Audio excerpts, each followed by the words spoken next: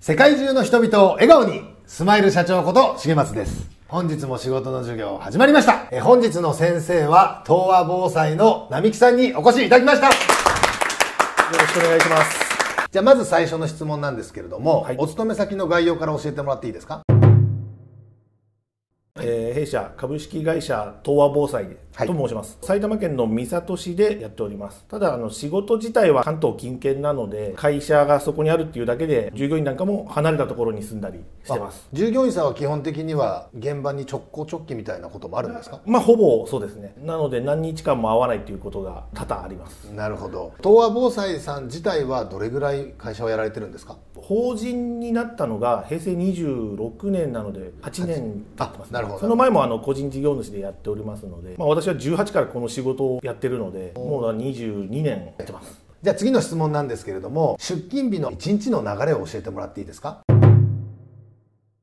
現場に寄ってってなっちゃうんですけども大体の現場っていうのは朝9時にお客さんのところに行って決められた工事をやるんですけども私たちみたいなこういう職人っていうのは終わりじまいって言われる。やって終わったら終わりっていう感じなので、はい、早い時だと午前中かからないぐらいで仕事を終えて解散っていうような形になっちゃうので何時から何時まで会社にいなければいけないとか、うん、そういうのがないっていう本当にその日にやる内容によりきりでただ多分一般的な建築業の中ではダントツで早いです。一日こう何現場も行ったりするような感じなんですか？それも本当にその時々によって違うってなっちゃうんですけども一日細かいのを3軒行く日もあれば1日ちょろっとこれで終わりっていう日もあるっていう、はい、働いてる時間でいうと多分極端に少ないと思います。こういう生活に慣れちゃうと事務員さんとかができなくなっちゃうんじゃないか。終わりじまいっていうのが当たり前になっちゃうので、はい、でも逆にこうお尻の時間が長くなることもあります。新築現場に入りますと後期っていうものがありますので後期に間に合わせなければいけないっていうと、はい、夜遅くまでやってまた次の日も朝早くやってってっていうような時もあります。今もそういう現場を入られることもあるんですあもちろん現場やってます。でその現場によって一人で終わるものとそういうのがやっぱりものによって違うので、ええ、時間が短いって話なんですけれども、はい、平均時間が大体何時ぐらいかと早い時ってどれぐらいなんですか？基本的には9時から17時までが仕事なんですけども早いっていうと9時に始まって10時には早してるような 1時間。職人っていうのは腕の問題になってくるんで、うん自分が早く帰りたいから技術が上達していくっていうか不具合があった時に経験がもちろん必要になるんですけども、はい、前こうだったからまあ大体これだなっていうのが分かれば、不具合の箇所をすぐ見つけられる。でもやっぱり新人の人とかですとどうだろうどうだろうって一個ずつ調べていくとやっぱ時間がかかるっていうことになりますね。じゃあ次の質問なんですけれどもこの仕事ならではの楽しいところってどんなところですか？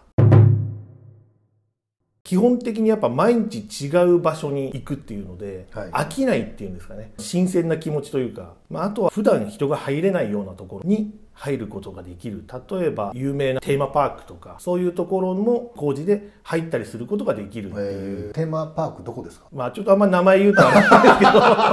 ど。次の質問なんですけれども今までで一番大変な仕事であったりやらかしてしまったこととかって何かありますか？やらかしてしまったっていう方はお客さんの家に行ったり、はい、まあ、お客さんの会社に行ったりしてそこのものを壊してしまうっていう誤って済むようなものだったらいいんですけども、落として壊れちゃった本当にまあ弁償させてもらってっていうのがやっぱり大きなやらかしですかね。壊しちゃったものってどんなものなんですか？例えばですねお客さんの家の押し入れの中にもあの火災報知器っていうのがついてるんですけどもその交換工事をする際にです押し入れに足をかけてやってたら棚がそのまま崩れちゃうような壁にももちろん傷ついちゃうんでそれはまあ業者を入れてちょっと直させてもらうっていう そういうことがあります、はい、あとはもう、まあ、今まで後期が間に合わなかったっていうのはないんですけども、うん、後期に間に合わないっていうのがやっぱ一番やばいことなので後期までになんとか終わらせるっていうのは常に心がけております。なんかその仕事の中ですごい大変だったことっていうのは何かありますか？大変だったことっていうのはやっぱり後期に追われて、うん、自分が頑張ればなんとか終わるものだったら頑張れるんですけども私たちの仕事の特性上というか例えば私たちの上に電気屋さんがいて電気屋さんが終わらないと私たちがその後工事ができないっていう時があると、はい、早くやってくれって言われるけど私たちはやることなく待ってなくちゃいけない。ただもう後ろからはもう早くしろ早くしろって言われるのがちょっと大変なところっていうか。じゃあ次の質問なんですけれども、はい。まあ、今までにやった工事の中で珍しい設置ないよみたいのって何かありましたか？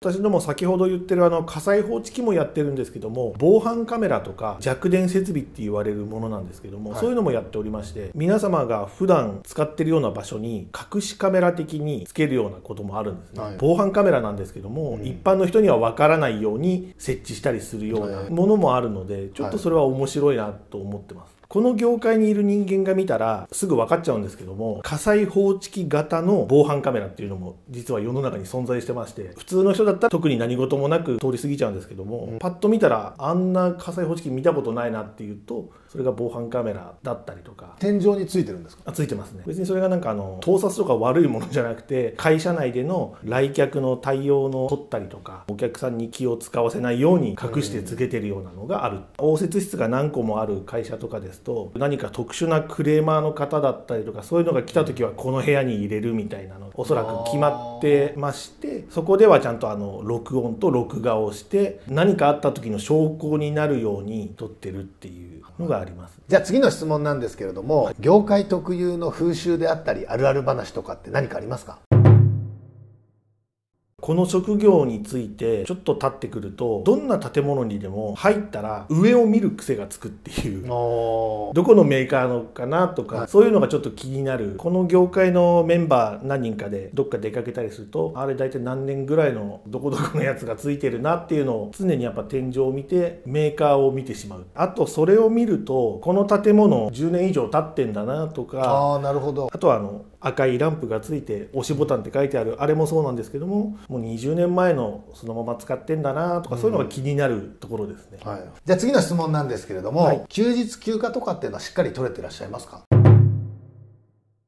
仕事柄土曜日日曜日っていう仕事も多々ありまして工場がお休みの時にしかできない仕事だったり、マンションなんかのお客さんがいるところですと日曜日の朝に来てくれとか、はい。そういう仕事もありますので毎週日曜日が休みとかそういうのはなかなか難しいかなって。もちろん日曜日休める時もあるんですけども、平日休みになることも多いのかなじゃあ社員さんは基本的にシフトを組んで休みを回しているような感じですか？それもシフトっていうよりはお客さんがこの日がいいっていうのを優先になるので、今週は水曜日休みだけど来週は何曜日っていうのがまたちょっとバラバラな感じになる感じですね。基本的なそのシフトっていうのはどれぐらい前に分かるんですか？来週もしくは再来週のこの日休みたいって言ったらもちろんそこは開けられるんですけども、そうでなければ何日前とかに決まるような感じですね。3日4日ぐらい前に決まることもありますあとはあのその新築工事って言われるような工事現場をやってるような工事会社さんですと日曜日だけが休みっていう。あとあの有給とかも取得状況についてはどんな感じですか、それもあの言ってもらえればうちでは普通にあのお休みは取れますので。あとは例えば夜間の仕事の依頼とかもあったりするんですか？夜間もあります。そんなに多くはないんですけども、はい。お店が夜9時まで開いてますっていうと、はい。やっぱり夜10時から工事が入って、夜中のうちに終わらして撤収するような仕事もあります。昼間の仕事と夜の仕事の割合っていうのは何対何ぐらいですか？昼間9の夜1ぐらい、まあ夜ははい。ほとんどないですね、